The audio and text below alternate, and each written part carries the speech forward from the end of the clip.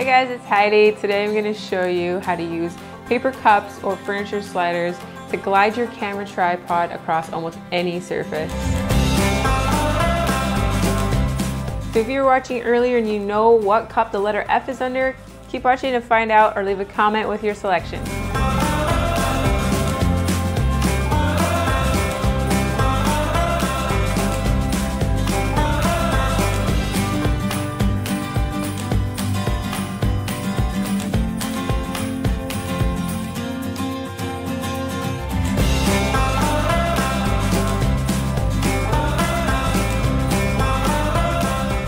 So that's how you get a smooth glide using furniture sliders and or paper cups.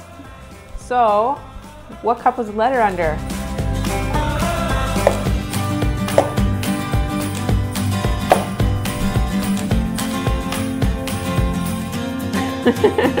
Just kidding. It's under here. To watch more videos, subscribe.